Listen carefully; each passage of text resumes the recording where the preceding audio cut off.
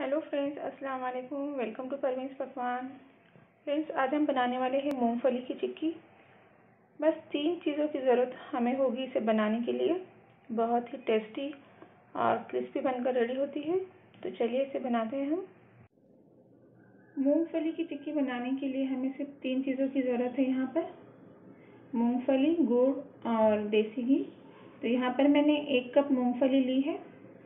मैंने ये मेरे पास मेजरिंग कप है 150 ग्राम का, इससे मैंने एक कप लिया है। मूंगफली को हम भून लेंगे और इस तरह से इसको हम आधे आधे टुकड़ों में कर देंगे। एक कप मैंने यहाँ पर गुड़ लिया है 150 ग्राम, इसको मैंने बारीक तोड़कर रखा है। और एक चम्मच हम देसी घी लेंगे। तो चलिए बनाते हैं इसे।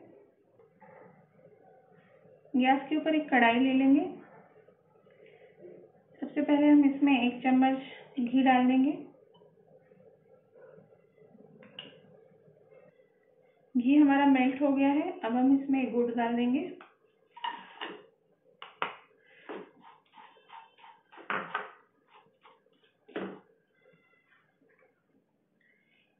इसे हम लो फ्लेम पर मेल्ट कर लेंगे।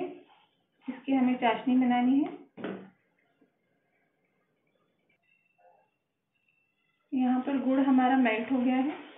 इसे हम लगातार चलाते रहेंगे और इसमें अच्छा झाग आने तक इसे हमें पकाना है।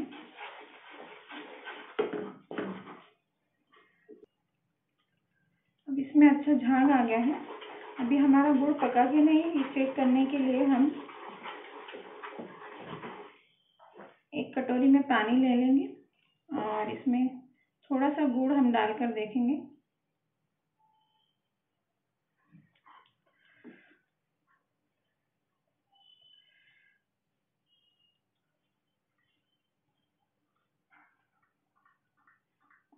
देखिए। गुड़ अभी हमारा नहीं पका है। ये थोड़ा खींच रहा है। इसे हमें कड़क होने तक पकाना है। तो इसे हम और पकाएँगे थोड़ी देर। चलिए, अभी अच्छे से पक गया है। देखते हैं हम इसे चेक करके।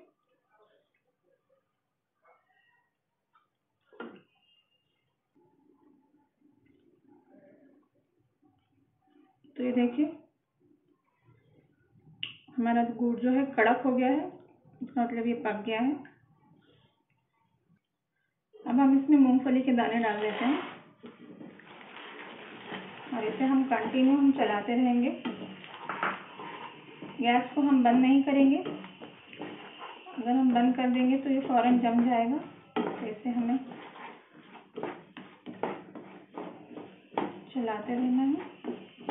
और अच्छे से मिक्स कर लेना है।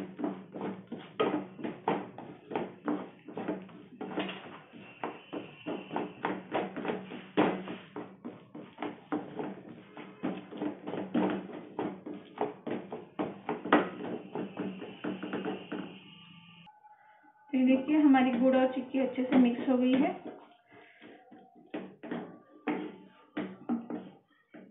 अब हम गैस को बंद कर देते हैं। हम यहाँ पर एक चकला ले लेंगे। इसके ऊपर हम थोड़ा सा तेल बिछा देंगे।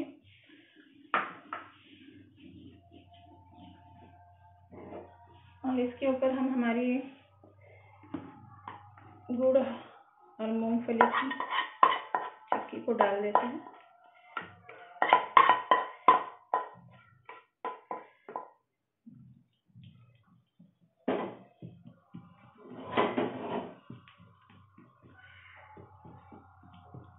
इसे हमें अच्छे से इसके ऊपर फैला लेना है। पतला पतला।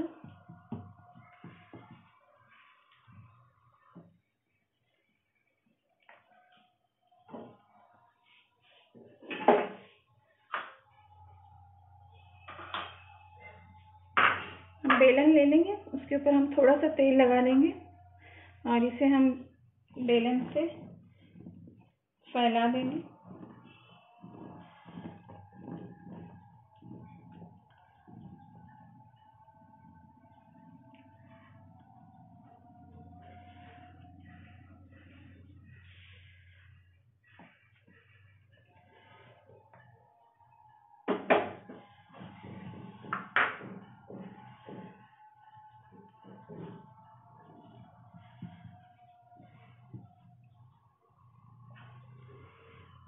हमने अच्छे से फैला दिया है।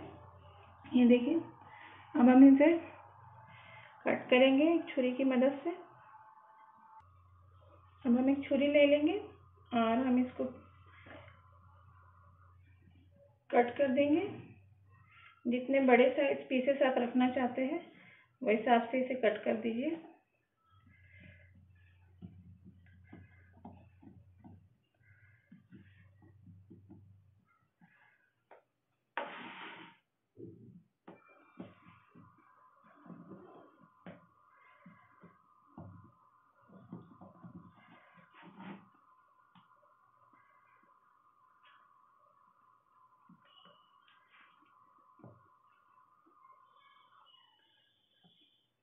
तो यहाँ पर इसे मैंने कट कर दिया है। अब हम इसे ठंडा होने के लिए रख देंगे। तो ये देखिए फ्रेंड्स हमारी चिक्की ठंडी हो गई है। मैंने इसे एक प्लेट में निकाल दिया है। तो आप लोगों को मूँगफली की चिक्की की रेसिपी कैसी लगी? अगर आपको पसंद आई तो मेरे चैनल को लाइक और शेयर ज़रूर कीजिए। तो मिलते हैं नेक्स्ट रेसिपी में। तब तक के लिए अल्लाह हाफिज़।